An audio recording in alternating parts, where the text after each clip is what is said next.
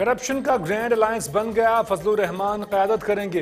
बदकिस्मती से नून लीग और पीपल्स पार्टी को शिदत पसंद गिरोह का सहारा लेना पड़ा।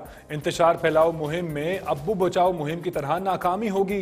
हुकूमती टीम की मौलाना को पी डी एम सरबराह बनाने पर कड़ी तनकीद, कहा मरियम और इसके अबू से पैसे ना लिए जाएँ। फौज और अदलिया करप्शन पर मुआवनत करें, बस यही मसला है।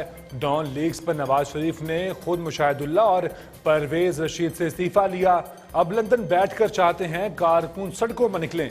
सत्तर फ़ीसद लीगी इनके बयानिए के साथ नहीं खड़े। नून लीग और बिलावल भुट्टो को जलसे शादी हॉल्स में करने का मशवरा भी दिया।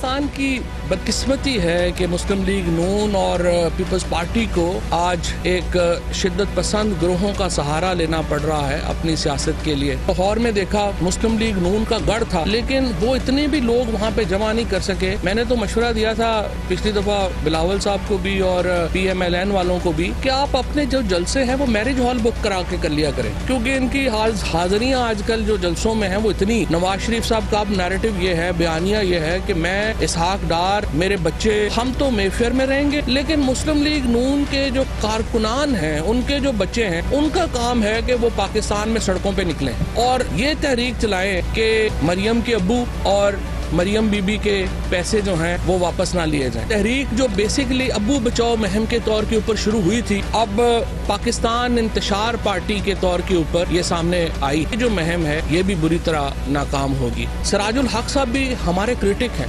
लेकिन वो जमात इस्लामी का जो लीडर है, उसके घर की छत टपकती है। और मौलाना फजल रहमान साहब, वो भी खैबर पख्तूनख्वा से हैं, दोनों के बैकग्राउंड में कोई फ़र्क नहीं है। सो क्या वजह है कि इनके पास अरबों रुपया है और सराजुल हक साहब के पास कुछ पैसा नहीं है।